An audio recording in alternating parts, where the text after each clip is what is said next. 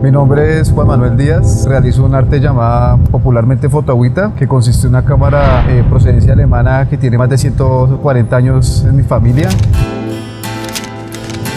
Aprendí este arte y tengo estas cámaras por herencia de mi abuelo materno, Julio Sosa Zamora. Fue de los primeros fotógrafos aquí en Bogotá con estas cámaras. Retrató grandes personajes aquí de la historia de Colombia como Rojas Pinilla, estuvo también con el, con el doctor y maestro Jorge Gaitán, que esa fue como la foto que él más le enorgulleció haber tomado.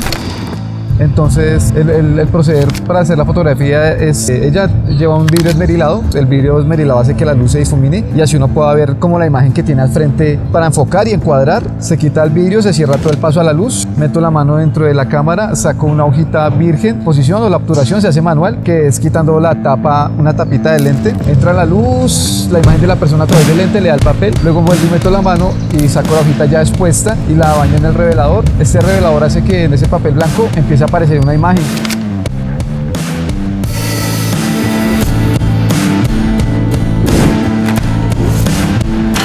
Para mí la música es mi vida, la música es como el motor, el motor, la gasolina para, para mi espíritu, para mi cuerpo.